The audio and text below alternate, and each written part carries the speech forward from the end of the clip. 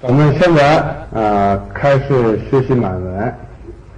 学习满文以前呢，咱们先介绍一下满文和汉字之间的区别，或者说这两者之之间有什么不同的地方，有什么特点。这样呢，我们以后在学习的时候呢，呃要注意。现在这里有一句满语啊，我读一遍。呃，能去满足和的工作，他起码得力不竭。意思呢，从今天开始学习满文。那么从这几个字来看，咱们首先看一下汉字。汉字很明显的，一个字这一个横块字是一个字。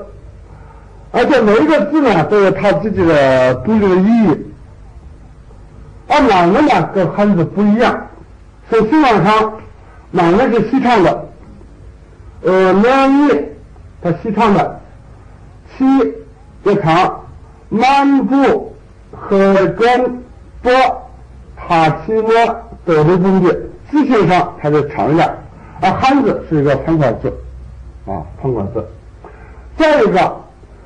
汉字它有四声啊，四声呢就区别的汉字的词义啊。那满文呢，它没有四声，只不过呢读的时候有轻，有的音发的重一点，有的音发的轻一点。再一个，汉字一个字是一个方块字啊，它是形状上来说它是一个方块字，而这一个字就是一个音节。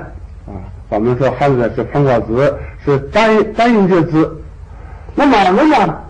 它是多音节构成一个单词啊，多音节构成一个单词。比如他亲我啊，动词原形，他亲笔，他亲笔，它有三个音节构成。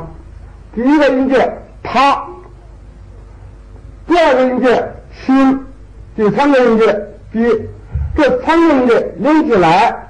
它亲笔才有实际意义，单独音节本身没有任何的意义。再比如，得力不稳笔是开始的意思。那么，这得力不稳笔，它有四个音节构成：第一，得是一个音节，力是一个音节，崩是一个音节，笔是一个音节。四个音节连起来。再成为一个单词，得力不敌，就含有的开始的意思。那么这啊啊，它紧闭也罢，或者得力不敌也罢，很明显的，有的音节出现了这个单词的字头，有的音节出现了这个单词的字主，有的音节出现了单词的字尾。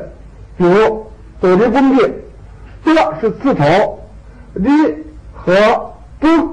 是字重，b 是字尾，这连起来才构成一个单词。这点上啊，咱们以后学习的时候呢，要特别注意啊，注意。那么现在呢，咱们就开始学习满文。满文的时，学习满文的时候呢，就首先要学的音节字母啊，音节字母，就像刚才讲的啊。音节，满语的音节没有实际意义啊，没有实际意义，必须好几个音节连在一块构成个单词才有实际意义。所以呢，咱们以后学的时候呢，就是从音节字母开始学习。好，现在我们讲，那我们讲一个第一课，五规启程第一课。这一课呢，一共要讲六个音节字母，我。或者五，这是六个音节字母。这六六个音节字母，我们叫它单元音，也就是满语的六个元音啊，单元音。那么这六个单元音